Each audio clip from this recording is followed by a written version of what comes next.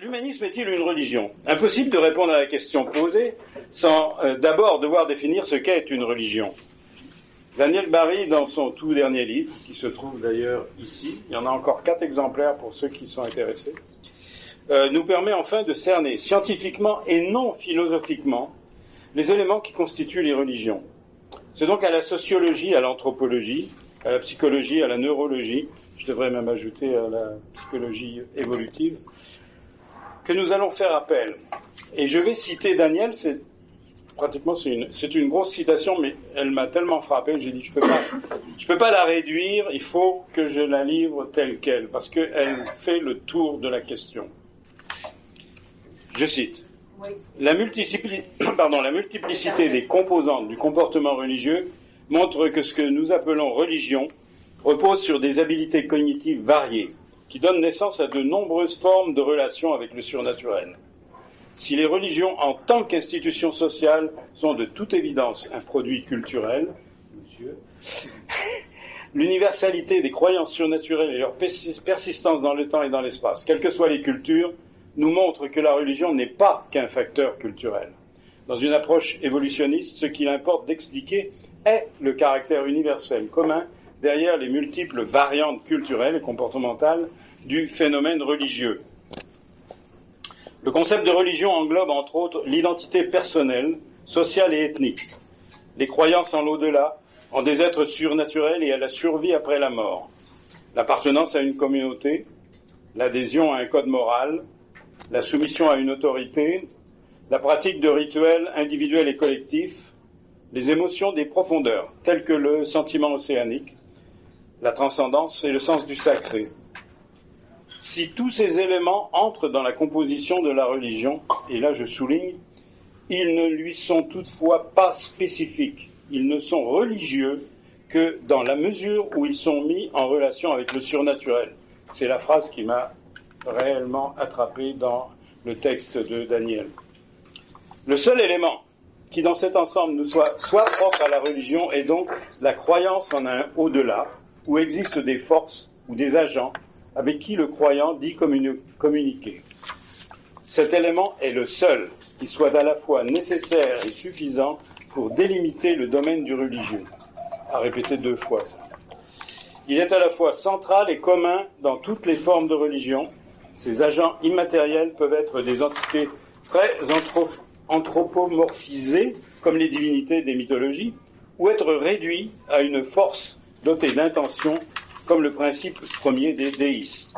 Fin de citation. ainsi donc, ce qui est propre, exclusif aux religions, c'est la présence du surnaturel. Or, vous savez sans doute, vous avez sans doute en mémoire le pour ceux qui connaissent la HQ, le premier principe de la charte de la HQ. Nous rejetons toute forme de surnaturel. Il s'ensuit qu'à aucun moment l'humanisme proposé par la HQ puisse être considéré comme étant une religion, car il nous manque cet élément fondamental, la croyance au surnaturel. Pas d'action miraculeuse, pas de religion. Pourtant, il y a bien des personnes qui voient en notre mouvement une religion. Pourquoi? Essentiellement parce que nous tentons de combler plusieurs besoins humains qui ont été historiquement l'apanage des religions, au moins en Occident. Ces personnes font l'erreur de croire que tous ces autres éléments qu'on retrouve également dans les religions sont spécifiques aux religions. En particulier, l'adhésion à un code moral, la pratique de rituels sociaux et même le sens du sacré ne sont nullement des éléments exclusifs aux religions. On les retrouve dans toutes sortes de mouvements tout à fait séculiers. La Sainte Flanelle du club de hockey de Montréal est un exemple. De même, il existe plusieurs versions de la transcendance qui ne doivent rien au divin. Par exemple, pour Marx, la transcendance est la capacité humaine de créer son avenir par son travail conscient au présent. C'est un exemple. D'ailleurs, on avance souvent que l'avenir de l'humanité est la seule transcendance qui importe aux humanistes. Un autre exemple est le sentiment océanique, entre guillemets pratiquement toujours associé par les croyants à une expérience mystique. De fait, c'est Sigmund Freud qui a attiré notre attention sur le phénomène par sa correspondance avec Romain Roland à partir de 1927. Ce dernier avait régulièrement des épisodes de sentiments océaniques un moment qu'il décrit comme le sentiment de faire un avec l'univers. Ni Freud ni Roland ne fournissent des explications satisfaisantes au phénomène qu'on interprète aujourd'hui tout bêtement comme une sorte d'anesthésie temporaire des circuits de proprioception. Ce qui est plus intéressant, c'est que euh, le phénomène touche aussi bien des croyants, comme Roland, que des athées, tels que le philosophe Comte Sponville, qui en parle dans son livre L'esprit de l'athéisme, euh, parce que lui-même a fait l'expérience du sentiment océanique une fois dans sa vie. Donc ça arrive même à des athées. Avons-nous des rituels? Si on désigne par rituel des cérémonies immuables, je suis obligé de répondre non. Toutefois, nous avons bien des cérémonies, telles que l'accueil et le mariage, qui ont des points communs avec certains rites religieux, mais ni plus ni moins que bien des associations sans prétention religieuse. Pour beaucoup de gens, et pratiquement toujours pour les croyants, les religions se distinguent par un code moral, qu'elles seraient seules en mesure de créer et de faire respecter. D'ailleurs, plusieurs auteurs proposent que toute religion a au moins deux composantes, une cosmogonie et une morale, qui se basent sur cette cosmogonie. Mais selon cette définition, l'humanisme pourrait alors être considéré comme une religion, puisque la cosmologie scientifique et la philosophie éthique dont nous nous réclamons correspondent en effet à cette définition. On voit tout de suite que l'élément critique est bel et bien le surnaturel, et que si l'on oublie le surnaturel, toutes les confusions sont possibles. Tout cela nous ramène à ce premier article de notre charte, et qui déclare sans ambiguïté que le surnaturel, aussi consolateur soit-il, n'a pas d'autre place chez les humanistes que celle d'objet d'étude dans les sciences humaines. Reste à comprendre pourquoi il est nécessaire pour les humanistes de se préoccuper malgré tout des besoins humains actuellement comblés par les religions. Pouvons-nous ignorer sans péril ces éléments des religions qui ont souvent modelé les civilisations pendant des siècles, voire des millénaires? Pouvons-nous ignorer ce puissant besoin de pérennité, si présent au cœur des religions, qui promettent une forme de survie après la mort? Pouvons-nous ignorer l'effet coopératif des religions, alors que la racine possible du mot religion, religaré, signifie relier Et surtout, pouvons-nous ignorer qu'une conscience abandonnée à elle-même risque de succomber à un code moral inacceptable dans nos sociétés? Je ne suis évidemment pas le premier à constater que le retrait des religions peut laisser un sentiment de manque, de vide, chez un certain nombre de nos concitoyens, mais pas tous, loin de là. D'autre part, le simple athéisme n'implique pas un code moral respectueux des droits humains. Il faut plus que cela. Les auteurs du premier manifeste humaniste en 1933 n'ont pas hésité à écrire qu'ils voulaient créer un humanisme religieux, entre guillemets, un terme douteux qui n'a pas été repris euh, par la suite. Mais ils entendaient fournir un remplacement aux religions désuètes et dépassées par nos connaissances scientifiques et philosophiques. Même si le choix des termes était maladroit, les auteurs du premier manifeste humaniste avançaient dans la bonne direction. C'est encore aujourd'hui celle que toutes les associations humanistes de la planète suivent plus ou moins. Cette direction, ce n'est pas clairement celle que vous trouverez dans les multiples définitions du terme humaniste que Wikipédia vous offre, par exemple. Ces multiples définitions sont pratiquement toutes de nature purement philosophique. Elles évitent l'humanisme comme pratique vécue alors même que les exemples existent.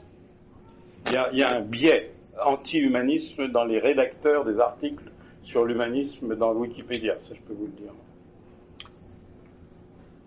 Elle condamne assez souvent l'humanisme pour ne pas avoir empêché la barbarie du XXe siècle. Un mauvais procès largement causé par l'usurpation du terme par des mouvements qui n'avaient d'humaniste que le nom. J'en parlerai une autre fois. C'est tout un sujet.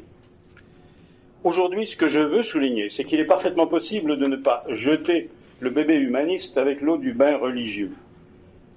L'étude des religions en tant que pratique vécue par les croyants nous renseigne sur les ressorts profonds de notre commune humanité.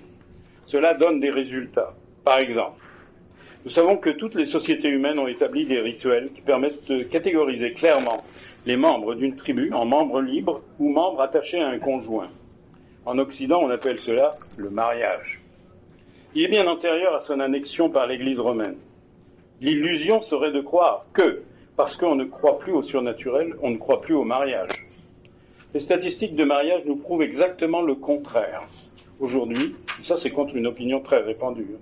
aujourd'hui même, les taux de personnes arrivées à 65 ans s'étant mariées au moins une fois dans leur vie est supérieur à ce qu'il était il y a 50 ans. oui, il y a progression du mariage. Ça, ça sidère tout le monde. Parce que tout le monde se dit, mais non, ils sont jamais mariés, ils sont tous euh, à côté. Non. Arrivé à 65 ans, les gens ont eu l'expérience du mariage plus qu'auparavant. Donc ne me dites pas que le mariage est en perte de vitesse. C'est faux. C'est parce qu'ils sont mariés plusieurs fois et ils ont divorcé déjà. Non. Ils ont eu l'expérience d'au moins, d'au moins un mariage. Ça ne veut pas dire qu'ils ne sont pas mais on ne divorçait pas dans, dans le temps. Maintenant, on divorce, on se remarie, donc ça met plus de mariage. On se marie plus tard, c'est tout. Dans les pays- Il religieux qui n'étaient pas mariés. Religieux, religieux. Dans les pays encore peu nombreux qui autorisent le mariage humaniste, validé par l'état civil, je précise, la popularité de ce dernier est en progression constante. En Écosse, il dépasse maintenant toutes les autres dénominations, sauf l'Église d'Écosse. Il dépasse les mariages catholiques, mais il dépasse les mariages presbytériens en Écosse. Et il n'y a pas si longtemps qu'il est autorisé en Écosse, depuis 2000, à peu près 2005. Donc vous voyez, en l'espace de 13 ans, le mariage humaniste est devenu un des mariages, un type de mariage majeur dans un pays occidental. L'Ontario devrait dépasser les 1000 mariages par an cette année. Ça progresse en Ontario. On voit, on reçoit des demandes pour être célébrant humaniste en Ontario de plus en plus. On avait en fait l'année dernière environ 40 célébrants en Ontario. On devrait en avoir une soixantaine. Dans ce domaine précis des mariages, l'humanisme séculier est clairement le successeur des religions. C'est vrai, on reprend une activité qui était faite par les religions. Par contre, dans d'autres domaines, nous sommes la négation de l'héritage religieux. Notre absence de textes sacrés, de dogmes, notre capacité à évoluer avec les nouvelles connaissances acquises par la science, notre morale centrée sur l'analyse des conséquences plutôt que l'application aveugle de codes moraux inflexibles, et bien sûr, notre rejet du surnaturel, tout cela nous oppose vigoureusement aux religions. Alors, pour répondre à la question initiale, même si l'humanisme n'est pas une religion, il est vrai qu'il tend à occuper la niche écologique des religions. Et ce n'est pas un accident. Merci.